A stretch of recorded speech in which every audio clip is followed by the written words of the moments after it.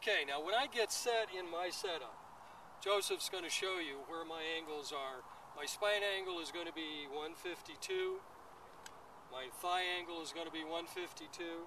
And if I were to rotate back from here, I have maximum rotation. I have 90 degrees of rotation.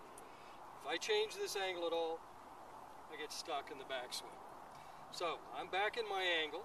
I'm going to hand this to Joseph. I am not going to move anything. I'm just going to let my arms hang, totally relaxed.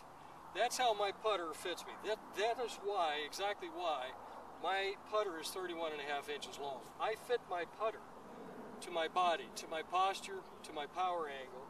These angles will show up with my putter repeatedly. Not only does it fit my putter, but all I have to do now is take my 7 iron and get in my setup, and I'm ready to go.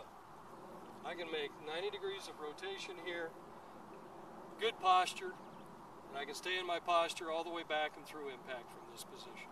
So when you get your clubs fit, be careful what you're looking at. I'm six feet, my putter is 31 and a half inches, my clubs are standard length.